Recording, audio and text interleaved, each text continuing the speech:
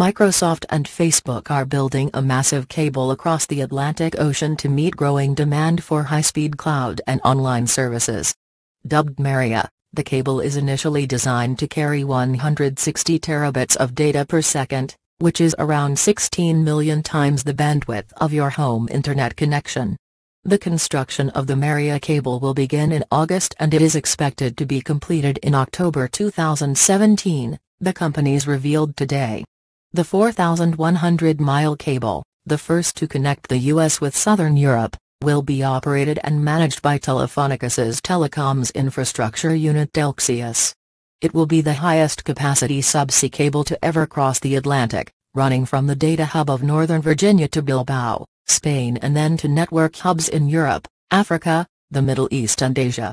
Apostrophe It will meet growing global demand for our more than 200 cloud services, including Bing, Office 365, Skype, Xbox Live and the Microsoft Azure platform, said Christian Belady, General Manager, Data Center Strategy, Planning and Development, Microsoft Corporation The MAREA transatlantic cable we're building with Facebook and Telxius will provide new, low-latency connectivity that will help meet the increasing demand for higher speed capacity across the Atlantic. The move comes nearly two years after Google, which is now Alphabet, agreed with five Asian companies to invest about $300 million to develop and operate a trans-Pacific cable network connecting the U.S. to Japan. Google also has another cable that connects the US and Brazil, and a network of cables that connect parts of Asia. As well as building an undersea cable, Facebook is buying something known as dark fiber, the name given to unused terrestrial cables, according to an in-depth report in Wired.